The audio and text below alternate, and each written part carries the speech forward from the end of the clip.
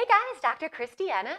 Whether you are an athlete or you just like watching athletes on TV, still one of the most common injuries that's going to happen for anybody is an ankle sprain. So today we're going to take you from that very beginning stage where it hurts like a son of a gun to the end so that you can help prevent getting another one because one of the most common causes of an ankle sprain is a previous ankle sprain. Terrible circle, right?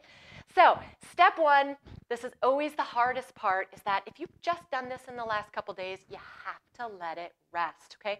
Number one also, or number, number one and a half, make sure it is not broken, okay? So if you're curious about that, if it's really swollen and really black and blue, make sure you get that looked at, okay? You need to put a little bit of ice on it if you're into that thing. I hate ice in New Hampshire in the winter.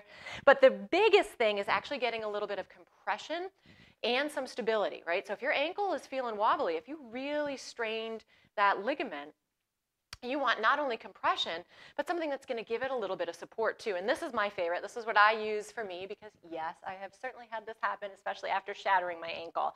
But this actually gives you a figure eight strapping that will help support that ankle. I'll link this down below too. Um, it's a Bauerfeind brace. You can certainly use anything that's comfortable for you, but you are going to need to give that ankle a little bit of support.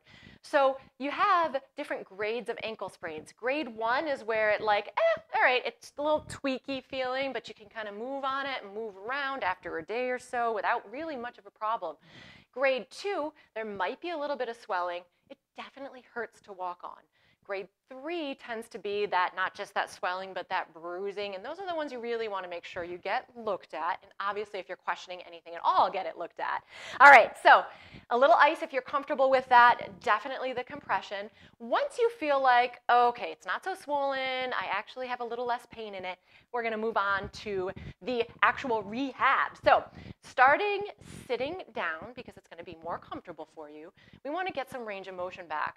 And you could go ahead and just do circles and back and forth, but I really like the ankle alphabet because you can get all sorts of little letters. You can go capital, you can go lowercase, you can make sentences or words like okie dokie. That's a favorite one of mine because that one's hard to do. Really focus on trying to use just your foot and not like the whole leg swing thing with it, okay? You're to do that multiple times a day whenever you get the chance to get your foot up a little bit.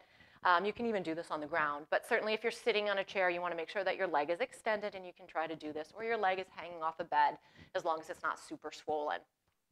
Number next is going to be a mobility one for the ankle.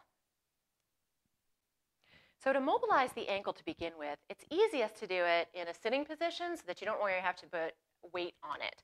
So if you find your ankle, again, I'm going to use my right one. If you find that ankle bone here, and you come down and forward, you'll feel almost a little, a little divot in there, okay?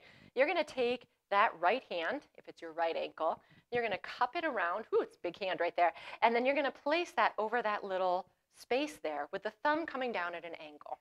This hand is to press and stabilize while the other hand is to move that foot up and down. Okay, so this hand stable, this one is moving. And the reason this is important is because the ankle actually starts to get locked up after you've had a sprain. And so we need to get the joint itself moving as well as some of the muscles. After you have worked on getting that joint moving a little bit better, you actually want to work on getting the calf muscles loosened because remember, if the ankle gets kind of stuck and locked, that means all those muscles that are helping out also get a little bit stuck and locked. So I'm going to grab the Derma Edge, which is now in a pretty blue in one piece. I'll link that up for you guys too. And we're going to do a little assessment in through that leg. And because, again, I have a lot of ankle things going on here, I do tend to have tightness. You can almost see that bumpiness. And we're just going to go in one direction. And for me, it's actually bumpier going up, so that's the direction I'm going to go in so that we can use the lymph system. And you're doing this until it feels a little less bumpy, a little less uncomfortable. And you do want to make sure that I'm getting the inside, but you also want to make sure, I'm just going to turn it a bit of a funky angle. You are looking at the outside of those muscles too. I'll move my leg a little bit this way. You don't have to be in that exact position, okay? So there you have it. Next is going to be, after you've kind of loosened that up, a little stretch for those muscles. Again, We're doing all of this sitting to begin with because usually it feels a little bit better to start. So whether you're on your bed or on the floor, I'm gonna take my pull-up band because that's what I've got, but you can use a sheet or a strap, anything you have handy, a belt. This is gonna go around the ball of the foot. I'm gonna grab onto the ends and I'm just gonna help pull that ankle up. Yes, my ankle probably doesn't have great mobility like yours might, uh, but that's why we're all working on these things, and you're just gonna hold it, okay? If it feels good for you, you certainly can even lift up a little bit, but this is usually where I have people start.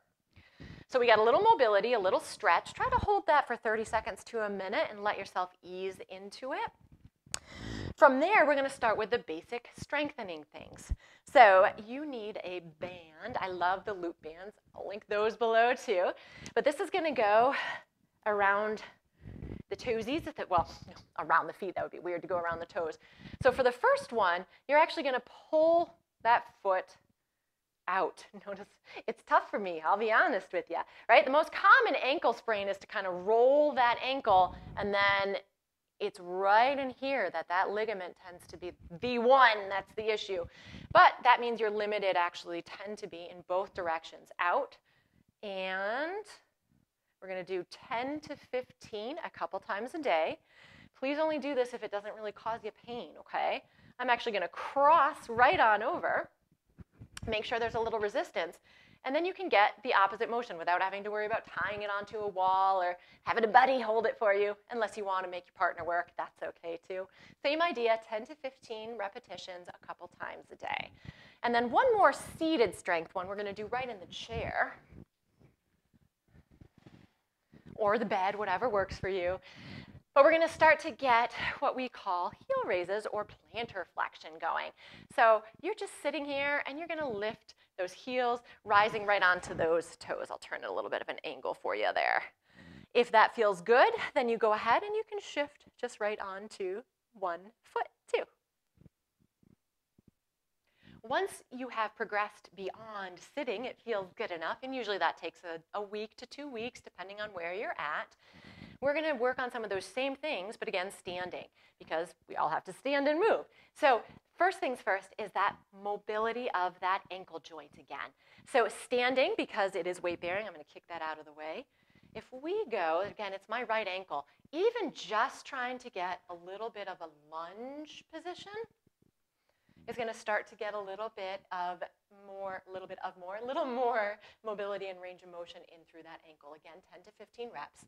Now to progress that and to get even more of that mobility, if you take, I'm going to use my assisted pull-up band again, but you can take, again, a strap or a belt, tie it onto something sturdy, which this is not, so I'm not going to pull real hard. But it's going to go around the front of the ankle. You're going to step out until you have some resistance, and then you're going to add that same motion in again. So now you have a counter force to really get that joint going a little bit more. Okay?